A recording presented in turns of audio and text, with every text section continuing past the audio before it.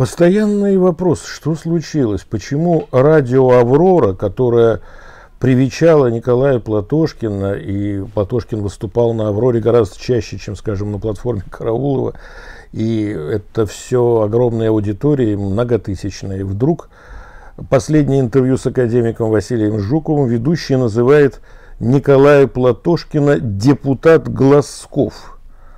Мы помним фильм э, о Чукотке, да, где Кононов играл человека, который выдавал себя за начальника Чукотки Глазкова. Вдруг такая вот ассоциация, депутат Глазков, там Чукчи, ну, Анжелика Глазкова, супруга Николая Николаевича, но как-то оскорбительно это прозвучало.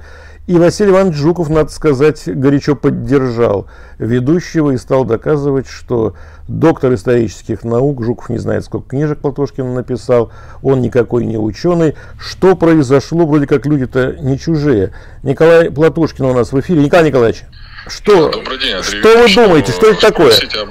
Да, что это такое все? Ну, я, честно говоря, не хочу ронять мысли насчет этих людей-то.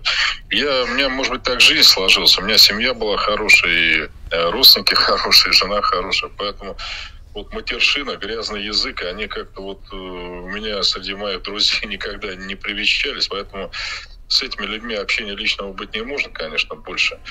Ну, а что касается там, какой я ученый, какой я помощник депутата, я не депутат, естественно. Супруга депутат, которая... Да вместо меня пошла в Госдуму, потому что мне запретили судимостью туда баллотироваться. Так вот, народ, я думаю, разберется, и он уже разобрался.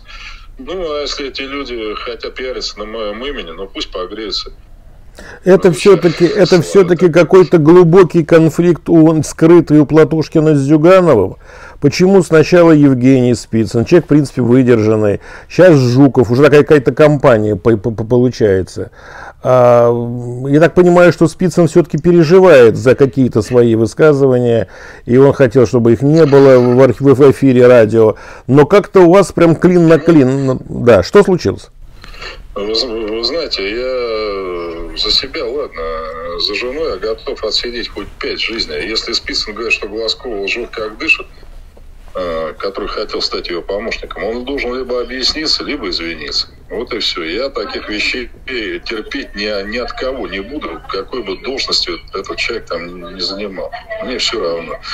Потом, э, когда говорят, что Платошкин в 90-е Родину продавал в МИДе, это тоже надо либо подтвердить, либо опровергнуть. Потому что Платошкин человек добрый, он это все не преследует, там, каких-то судебных порядков, никому не грозит, но терпеть это никто не собирается абсолютно, даже разговоров. Что случилось? Вы же с Василием Ивановичем у меня в моем доме за одним столом сидели в Новый год. Что случилось сейчас? Что произошло? Вот ваша оценка. Вот, Андрей Викторович, это надо, по-моему, спросить вот этого Василия Ивановича, которого я у вас, кроме как за столом, вот, да. в январе вообще в своей жизни никогда не видел по каким-то ученым вопросам с ним никогда не сталкивался. Не помню, чтобы он как-то высказывался по поводу моих 18 книг, так что это лучше спросить у него. Как вы видите, я в отношении этих людей не высказываюсь. Есть чем заняться, на носу выборы.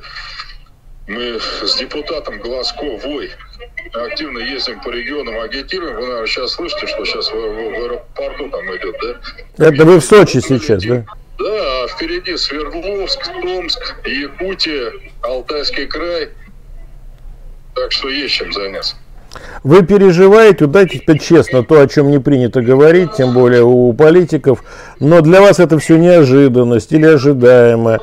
Ну это же какая-то странность, когда Иван Иванович ссорится с Иваном Никифоровичем просто как у Гоголя. Вот для вас лично. Еще раз, не ссорился, у меня есть чем заняться. Если эти люди там причисляют себя к левому движению, к левостороннему, правостороннему, пусть они этим занимаются. Мое личное общение с ним закончится. Понятно. Спасибо, Николай Николаевич. Из этих объяснений понятно, что, конечно, зашло все слишком далеко, но в итоге факт остается фактом. Николай Платошкин – заметная фигура в нашей политической жизни – историки, академик Жуков и историк Евгений Спицын, у которого, не, у которого нет э, этих званий и реалий, но они ему не нужны. Спицын есть Спицын. При всех вопросах, какие могут быть между ними, сам факт вдруг такого неожиданного разрыва публичного через крупные э, СМИ для меня Конечно, был просто шок. Я пытался понять, что происходит. С Евгением Юрьевичем говорил, я очень уважаю. Вот. У него, так сказать, своя точка зрения. Захочет, он ее изложит. Что же я буду пересказывать. Но точка зрения Платошкина никаких отношений больше. Впереди, как я понимаю, главная борьба-то. А люди, соратники, вчерашние соратники на глазах, на глазах расходятся вот так, как происходит. Всяко бывает, но как говорится, никакой надежды на мир. Очень жаль, потому что каждый из этих людей имеет судьбу. Николай Платошкин, напомню, еще и с браслетом ходит. У него срок тюремный. Пять лет, хоть и условно, но никто этот срок не думает ни отменять, ни снимать, никак. Да, это было сделано специально, чтобы он не мог баллотироваться, ну, предполагаемо специально, чтобы он не мог баллотироваться ни в депутаты, ни в президента, ни в губернатора, как в Хабаровском крае. Евгений Спицын действительно еще вчера хотел бы работать с Анжеликой Глазковой, как я от Анжелики Егоровну знаю и слышал не раз.